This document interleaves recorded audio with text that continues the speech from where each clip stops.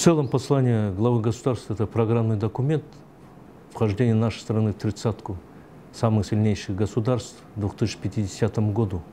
И здесь э, было сказано и о том, что э, необходимо для того, чтобы исполнить вот те задачи, которые поставлены, нашей стране нужны э, физически сильные, физически, духовно сильные патриоты страны. Поэтому особое внимание глава государства уделил необходимости утверждения принципов здорового жизни, в том числе средствами физической культуры и спорта.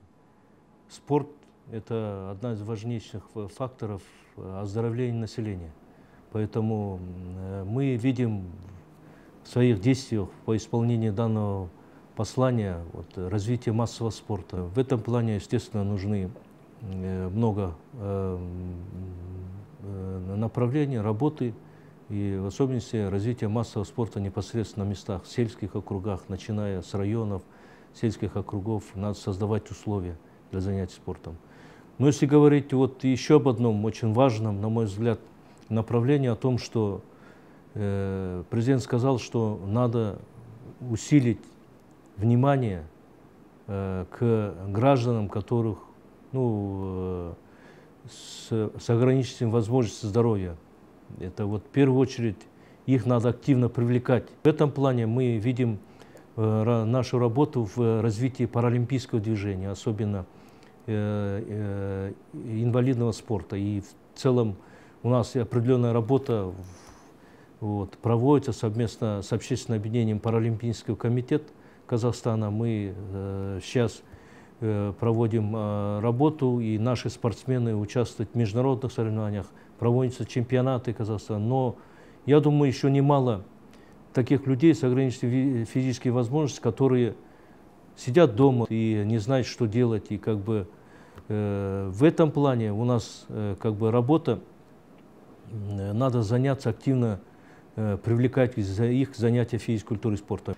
Для них надо создавать все необходимые условия, начиная с э, создания спортивных клубов для Э, людей с ограниченными возможностями. Вот в этом году мы на республиканском уровне уже и поддержка есть правительства, и э, выделены определенные финансовые средства для открытия республиканского центра по развитию инвалидного спорта. И я думаю, в каждой области, в каждом регионе должны создаваться спортивные клубы для инвалидов, и мы должны как бы активно привлекать их к занятию спортом. Есть э, спортивные клубы, которые созданы, но не во всех областях, опять же.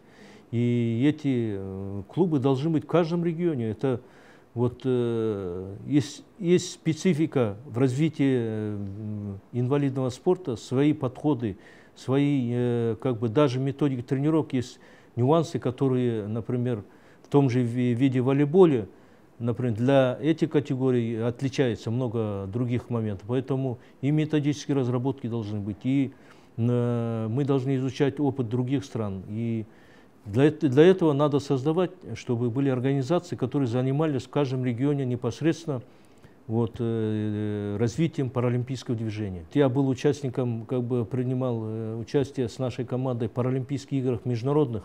И когда более 4 тысяч таких же людей с ограниченными возможностями, и каждая страна представляет, и участие наших спортсменов в этой э, спортивной жизни, оно как бы дает дополнительный импульс для каждого вот, спортсмена, который принимали участие. И мы тоже свою эту традицию проведения Паралимпийских игр возродили в Казахстане.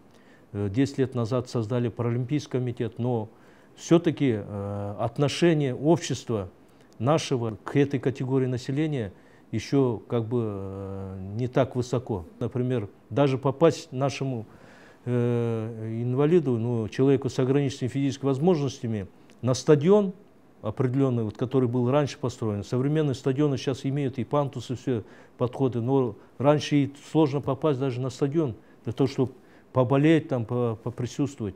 Поэтому все эти нюансы мы должны как бы изучить и принять на местах меры для того, чтобы э, любой человек с ограниченными физическими возможностями мог попасть на спортивное сооружение.